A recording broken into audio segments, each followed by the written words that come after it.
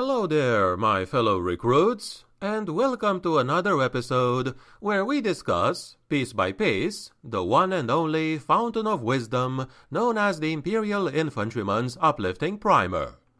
I know it's been a while since I've done one of these, if you discount the Imperial Prayers video that I made, but worry not, because we are returning to the fold today and we are going to achieve that by talking about how to properly use your standard issue lasgun, as well as a couple of other weapons.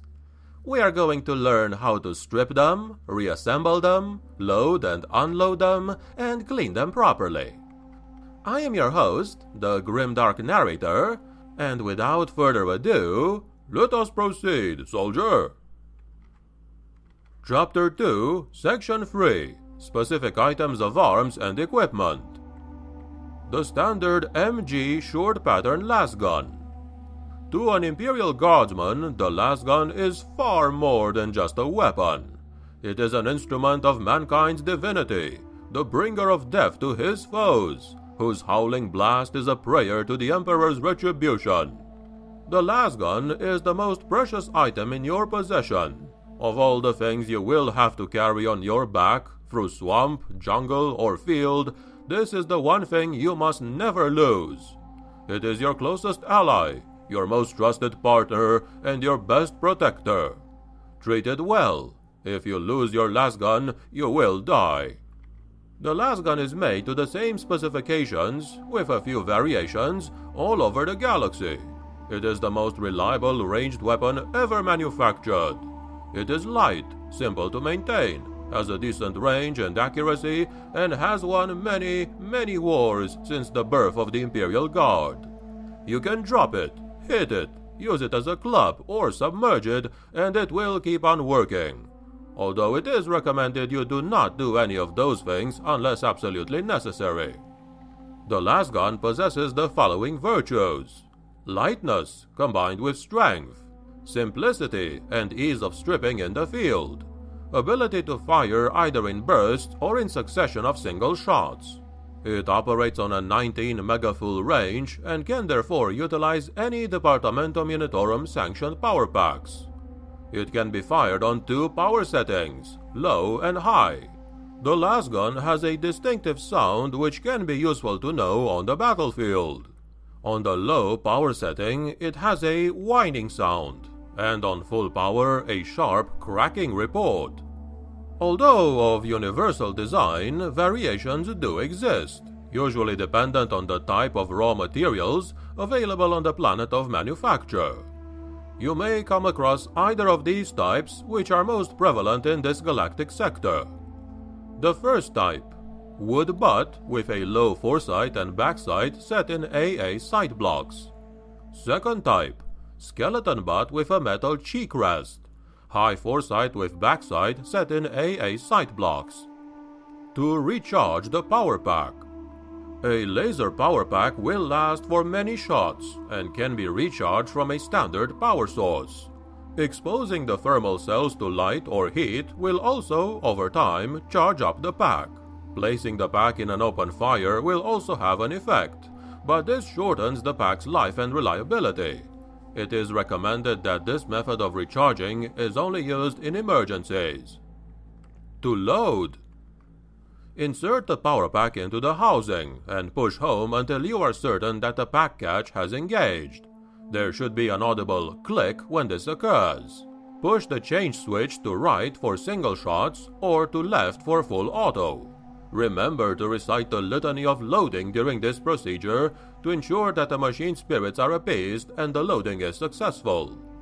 To unload, grasp the spent pack with the left hand, press down the pack catch with the thumb, and simultaneously withdraw it from the housing. Press the trigger and ensure that the breech is clear. You are now ready to reload. Remember to recite the litany of unloading during this procedure. To strip, Remove any power cells. Undo bolts on body casing. These are found on either side of the barrel. Grasp barrel with left hand and slowly lift the body casing upwards. Pull power setting lever to single shot. Rotate barrel anti-clockwise until it comes free. Slide back the mill slide on underside of optic sights. Remember to recite the litany of the lasgun during this procedure to show proper respect to the weapon. To assemble, replace the barrel by inserting into locking position and rotating clockwise. Ensure it is tightly in place. Snap body casing over the catches. They will click when properly in place. Replace bolts, insert power pack. Remember to recite the litany of completion during this procedure. Cleaning and maintenance.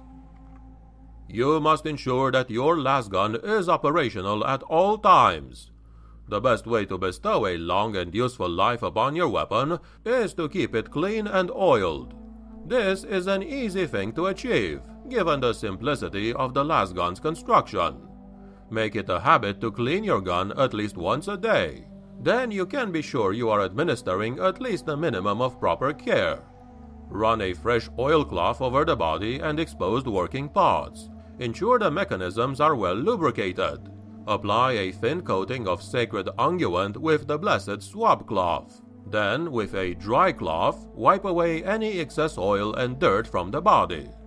Eject the power pack and pull back the cover of the ignition chamber. Clean the ignition rings thoroughly. If these are soiled, the gun will not fire reliably. And check for any blockages. Replace power cell and check firing mechanism. Remember to recite the litany of cleanliness and the litany of unjamming during this procedure to make sure that the weapon is clean, in spirit and in body, and will not fail when you ask for its service. If a problem occurs that is beyond your skill to rectify, report the fault immediately to the armorer or the texier, so a proper overhaul with the correct litanies and incantations can be prescribed to the ailing machine. Do not try to remedy such a problem yourself. The spirit of the lasgun must be respected. In the interim, a new weapon will be issued to you. A guardsman without his rifle is useless to the Emperor. Ensure its well being in the same way you do your own. Your life depends on it. The Auto Pistol Some regiments will issue infantrymen with a pistol model of some description. It is felt in some quarters that the sidearm can be a useful addition to a soldier's armory. This is not universal, however, as many regiments believe that only officers should be equipped with such a device. Other regiments allow their ranks to acquire spoils from the battlefield for their own use, and pistols are a popular choice. Because of this, a brief description of the standard auto pistol is given here as a reference. The auto pistol is simple, effective, and manufactured to roughly the same design all across the galaxy. It is a one-handed firearm that delivers solid bullets, using a hammer to ignite the combustible element over a medium to short range. Its accuracy is moderate, and it is best used in short range or close quarters combat. It has considerable stopping power, but if the target is wearing armor, the force of the projectile can be greatly diminished. These specifications are by no means universal throughout the Imperium, but they can be considered generally accurate. Its weight is at between 300 and 800 grams, its length is between 9 and 25 centimeters, the length of the barrel is between 4 to 18 centimeters, the magazine type is straight between 5 and 30 rounds. The type of fire can be single or automatic. The rate of fire is between 60 to 150 shots per minute, and the sights can be fixed front or center optic sights. To fill the magazine. Remove magazine by pressing catch on left of the pistol, in rear of trigger. Holding the magazine in one hand, place the base of each cartridge near halfway along the preceding one, and then push down and back using both thumbs. To load, push the magazine firmly and well home into the butt. Pull back the moving portion on the top part of the body, then allow them to return fully forward on the spring. The pistol is now locked and loaded. Remember to recite the litany of loading during this procedure. To unload, remove the magazine. Pull the moving portions on the top part of the body back sharply to clear the chamber. Pull the trigger. Remember to recite the litany of unloading during this procedure so the machine spirits are awakened and aware of what you are doing.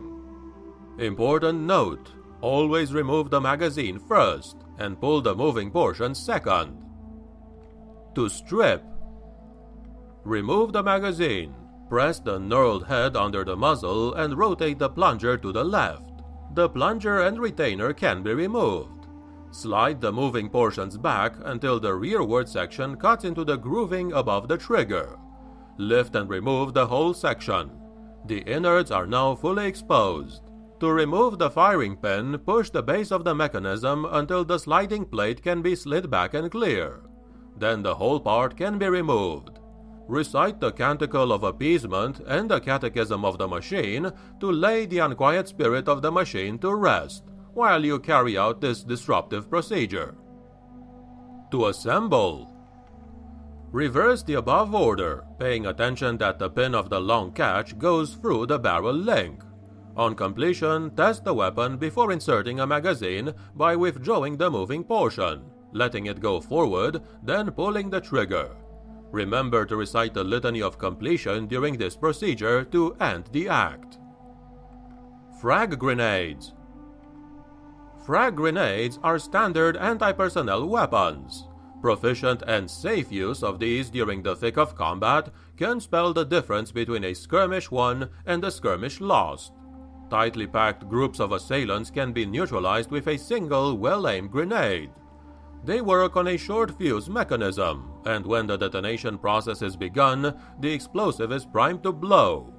When it does, fuse time is adjustable, the device explodes, scattering a wide area, about 10 meters, with lethal shards of metal.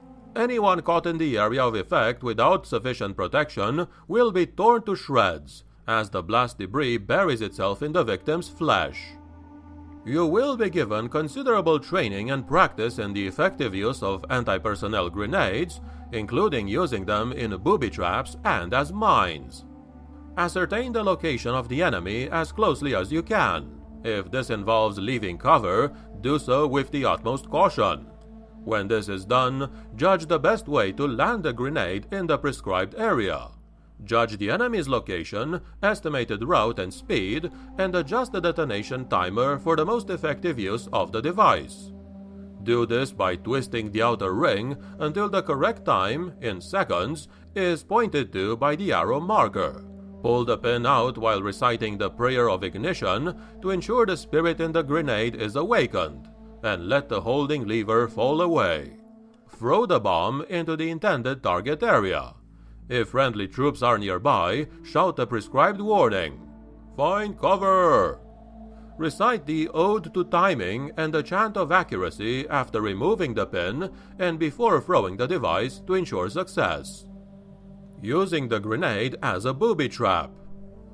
Designate a zone where the enemy will likely pass through. A path through areas of rough terrain, jungle roads, roads through ruined urban districts are very good choices. Use your standard issue adhesive tape to fix a grenade to either side of the path using whatever is available. Disguise the grenade by covering it with loose debris. Ensure the cover does not obstruct the detonation mechanism. Tie each end of a length of wire to the detonation pin. When an unsuspecting enemy trips the wire, he will trigger the bomb. A well laid ambush can be started with this sort of booby trap, as the column of foes will be disorientated by the blast. Recite the blessing of the bomb and the prayer of smiting to cause the trap to have a maximum effect. Note if you lengthen the time to detonation to several seconds, the trap will activate when the enemy column has gone some way past, ensuring maximum casualties and confusion the gas mask with the Mark 8 filter.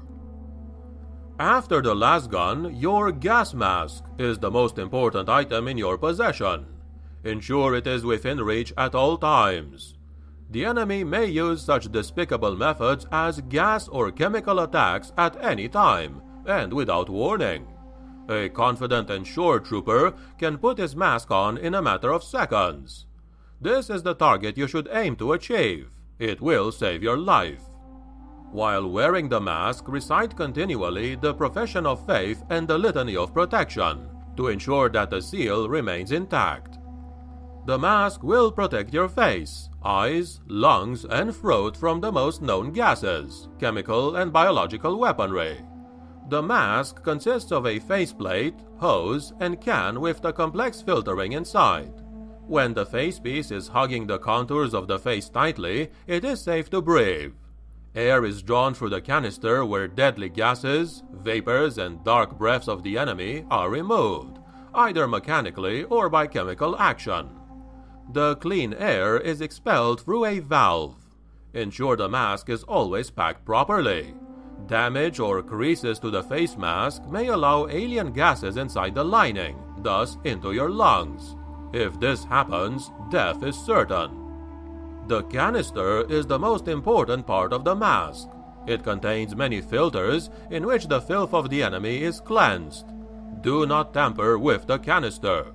You do not understand its workings, and repairs or alterations must be carried out by a specialist. Do not use the mask as a seat or a pillow. You may damage it without even knowing. Initially, you will find wearing the mask uncomfortable, but you will become used to it as you train with it on.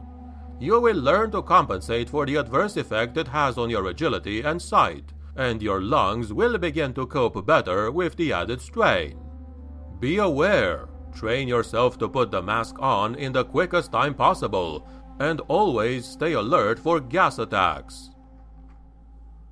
And that, my friends, has been what I wanted to tell you about how to properly take care of your weapons in the Imperial Guard for today. So, if you decided to join the Imperial Guard, or Astra Militarum as the kids these days call it, you can watch this video again and be a model recruit from the get-go. You're welcome. If you have any other thoughts on these policies of using your guns, do write them down in the comments below. Was this video informative or entertaining? In that case, please click the like button and subscribe for more content. Thank you very much for watching, and I wish you all an awesome day. The Emperor protects.